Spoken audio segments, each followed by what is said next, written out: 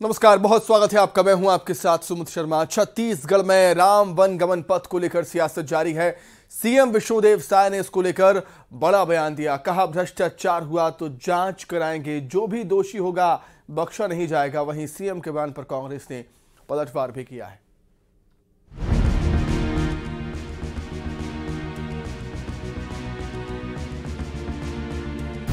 छत्तीसगढ़ में राम वन गमन पथ पर सियासत जारी है। सीएम विष्णुदेव साय ने कहा कि पिछली सरकार में बहुत सारे भ्रष्टाचार हुए हैं जहाँ लगेगा गलत हुआ है जाँच बैठाएँगे और दोषियों पर कार्रवाई करेंगे।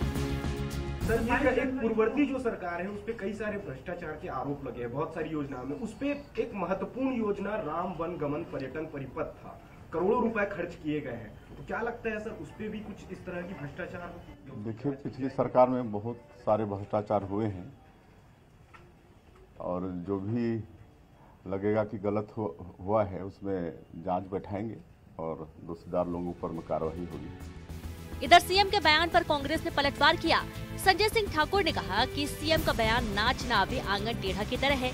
चुनाव के समय उन्होंने मनगढ़ंत आरोप लगाए थे। सरकार में है कहीं शंका है तो जाँच कराएँ मुख्यमंत्री विष्णुदेव साय जी का बयान नाच नावे आँगन टेढ़ा वाली कहावत को चरितार्थ कर रहे हैं।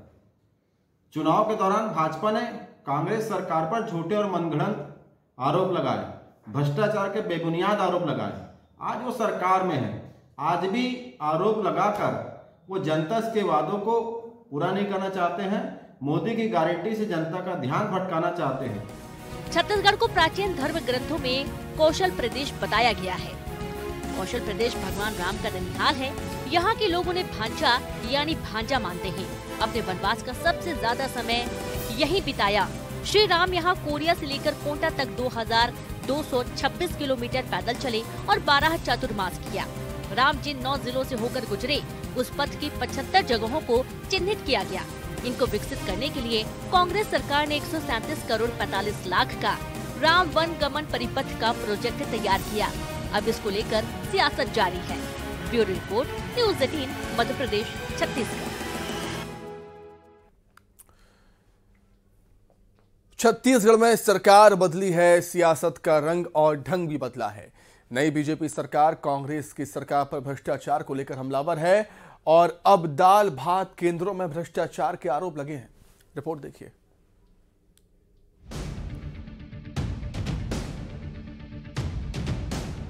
रमन सरकार में गरीबों के लिए दाल भात केंद्रों की शुरुआत की गई। कांग्रेस सरकार में भी ये योजना जारी रही। अब फिर से प्रदेश की सत्ता पर बीजेपी काबिज है। प्रदेश के उद्योग और श्रम मंत्री ने इन केंद्रों में कांग्रेस सरकार पर भ्रष्टाचार करने के आरोप लगाए। कांग्रेस सरकार आने के बाद दाल भात सेंटर कहीं चल नहीं रहे हैं और टेंडर भी किए हैं कांग्रेस के लोग। और टेंडर करके पेमेंट भी कर रहे हैं और कहीं पर दाल भात सेंटर चल नहीं रहा है। तो उसका भी हम समीक्षा कर रहे हैं। मैंने फ़ाइल बुलवाया है कितना पेमेंट हुआ है, क्या हुआ, उसको देखेंगे। और सही है तो ठीक है, कितने जगह चल रहा है, सही जो चल रहा है, एक दो जगह उतना ही पेमेंट हुआ होगा तो ठीक है। अगर अतिरिक्त जहाँ नहीं चल रहे वहाँ के नाम से भी भुगतान हुआ होगा तो हम कार्रवाई भी कराएँगे, जाँच भी कराएँगे। और आने वाले समय पर माननीय मुख्यमंत्री जी से बात करके, क्योंकि कांग्रेस ने बावन रुपया प्रति व्यक्ति खाने का कंपनी को पैसा देने का किया है। अब उसमें देखना है कि भुगतान कितना हुआ है। मैंने फ़ाइल बुलवाया है उस दिन। इतना ही नहीं, देवांगन ने कहा कि उन दाल भात केंद्रों के नाम पर करोड़ों का भुगतान कर दिया गया, जो संचालित ही नहीं हो रहे हैं। साथ ही उन्होंने कहा कि कांग्रेस सरकार में संतावन रूपए के हिसाब से इन केंद्रों को भुगतान किया गया, जबकि 12 के हिसाब से बीजेपी सरकार भुगतान करती थी। तो बघेल सरकार पर एक और घोटाले के आरोप और जाँच की बात तो जाँच के बाद दूध का दूध और पानी का पानी हो जाएगा और फिर दोषियों को सजा मिलेगी। ये मंत्री का कहना है। Bureau report, news eighteen Madhya Pradesh Chhattisgarh.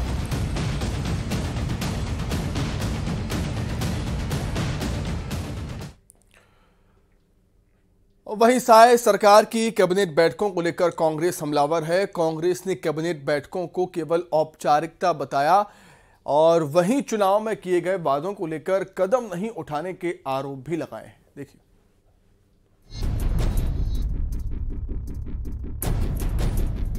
Congress संचार प्रमुख सुशील आनंद शुक्ला ने छत्तीसगढ़ की बीजेपी सरकार पर निशाना साधा। उन्होंने कहा कि कैबिनेट की छह बैठकें हो चुकी हैं, लेकिन चुनाव के दौरान किए गए कई वादों पर अभी तक फैसला नहीं हुआ है। महतारी बंधन योजना नहीं लागू किया गया। इकतीस सौ पर धान खरीदी पर खामोश हैं। कैबिनेट की बैठक सिर्फ़ औपचारिकता मात्र दिखती है। छह कैबिनेट की बैठक हो चुकी है एक महीने में। लेकिन एक भी ऐसा निर्णय नहीं हुआ जो इनकी योजनाओं को पूरा करता हुआ दिखे, जो सरकार के विजन को दिखाए। इकतीस में धान खरीदी करेंगे, एक साथ भुगतान करेंगे, कैबिनेट की बैठक में कोई फैसला नहीं हुआ। महतारी बंधन के बारे में कैबिनेट की बैठक में कोई फैसला नहीं हुआ। पाँच सौ में गरीबों को सिलेंडर देने के बारे में कैबिनेट की बैठक में कोई फैसला नहीं होता है। बिजली बिल आधा आगे जारी रखने के बारे में कैबिनेट की बैठक में कोई फैसला नहीं होता है। वही पूर्व मंत्री शिव डहरिया ने बीजेपी की सरकार पर तंज कसा। डहरिया ने कहा कि जितनी चाहे बैठकें कर ले अभी हम उनसे सवाल नहीं पूछेंगे। खूब समय दे रहे हैं। देखते हैं कि वो अपने वादे कब पूरा करते हैं। अभी हम उन पर कोई आरोप नहीं लगा रहे हैं। अभी तो उनको काम करने का अवसर है। ये ग्रेस पीरियड अभी चल रहा है। किस तरह से काम कर रही छत्तीसगढ़ की जनता देख रही है। जल्द ही लोकसभा चुनाव है। सब गम भुलाकर कांग्रेस लोकसभा चुनाव को लेकर बीजेपी सरकार पर हमलावर हो चुकी है और साई सरकार पर विधानसभा चुनाव में जनता से किए वादों को लेकर वादा खिलाफी के आरोप लगा रही है। Bureau report, news eighteen, Madhya Pradesh, Chhattisgarh. तस्करों की नज़र अब सोने पर है। छत्तीसगढ़ के महासोन में दो करोड़ का सोना पकड़ाया। पुलिस एक आरोपी को लेकर हिरासत में लेकर पूछताछ कर रही है। क्या है पूरा मामला? इस रिपोर्ट में देखिए आप।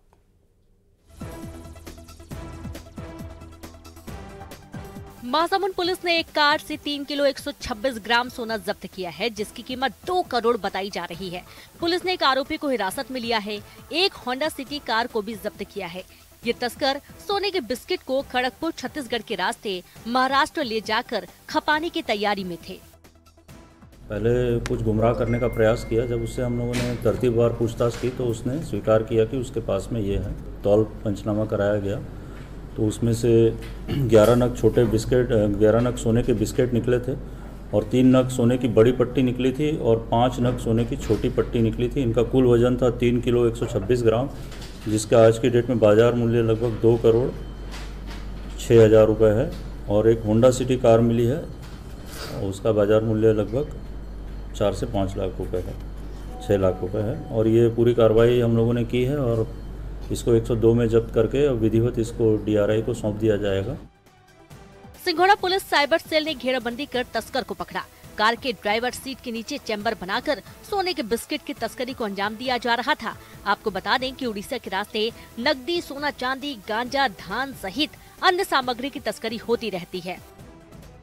Mahasamund news eighteen, Madhya Pradesh, Chhattisgarh.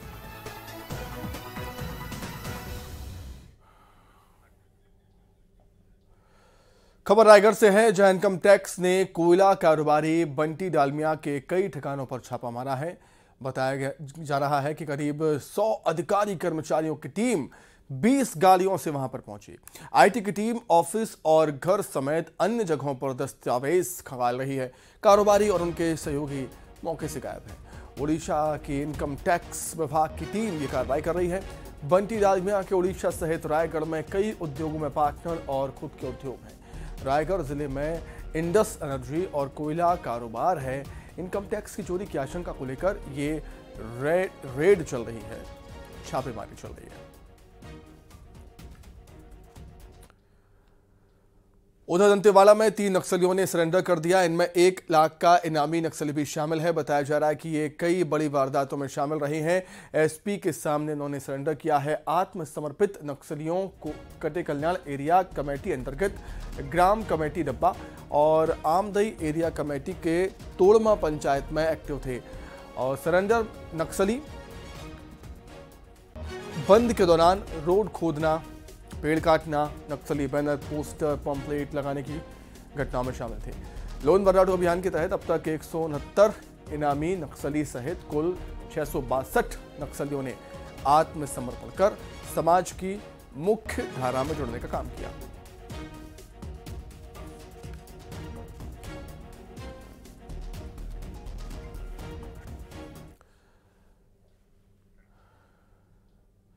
Raipur से खबर है, जहाँ पुलिस ने बदमाशों का जुलूस निकाला और मुंडन करवाकर शहर की सड़क पर घुमाया। इन बदमाशों के नाम एजाज खान, राजा संदीप ध्रुवा हैं और इन पर घर में घुसकर लोगों पर रौद से हमला करने का आरोप है।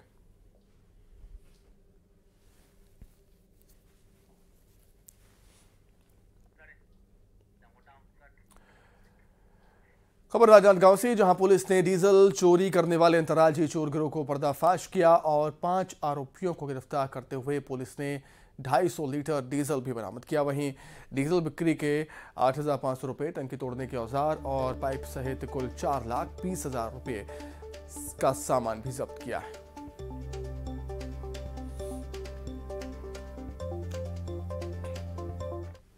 सूचना मिल रही थी कि हाईवे पे डीजल चोर सक्रिय है। और ये खड़ी ट्रकों से, टैंकरों से डीजल चोरी कर देते हैं। इस पर साइबर की टीम और थाना लालबाग की टीम ने कल संयुक्त रूप से डीजल चोर को पकड़ा है। इनके पास स्विफ्ट डिज़ायर में पाँच जेरिकेन में लगभग 250 लीटर डीजल मिला है और पाँच आरोपी गिरफ़्तार हुए हैं।